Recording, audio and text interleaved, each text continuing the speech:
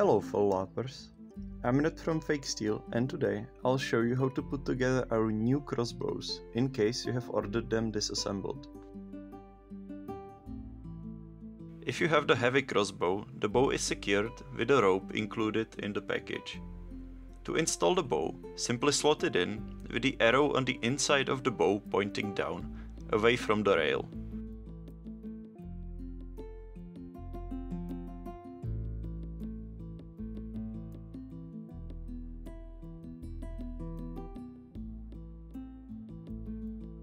The markings on the bottom of the bow will help you center it. Once it's in, put the loop of the rope on one of the bow arms and use the hole in the stock to tie it down.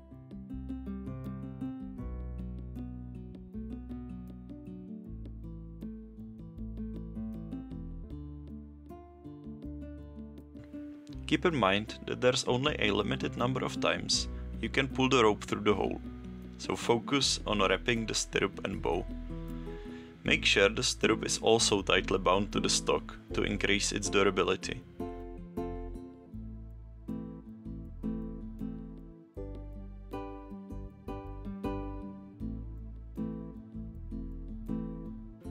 There are many ways to tie this rope and I'm only showing you the simplest.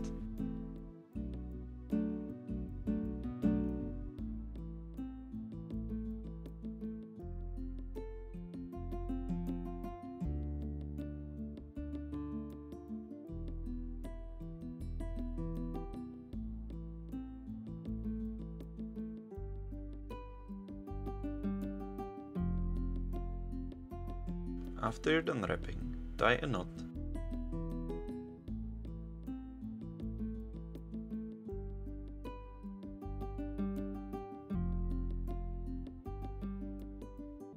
And pull the remaining rope through the hole for the last time.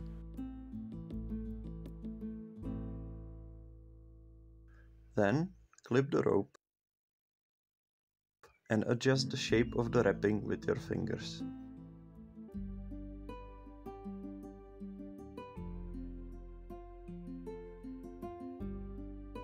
Your crossbow is now ready for use.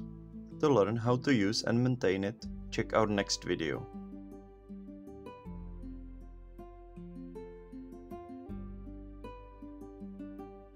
If you got the light crossbow, start by inserting the bow into one of the reinforcements, the hole in the stock, and the other reinforcement.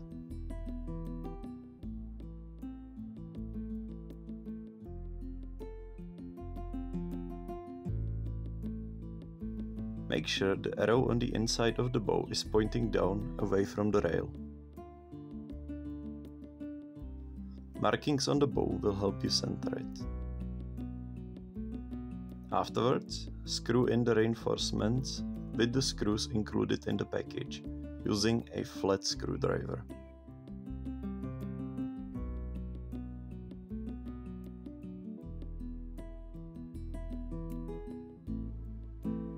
Finish the assembly, insert the strip of leather into the hole and follow it up with the block of wood in the direction of the arrow on it. Make sure the stirrup is in its slot. Use a light hammer or a piece of wood to tap the block in. Your crossbow is now ready for use. To learn how to use and maintain it, check our next video. Thanks for watching.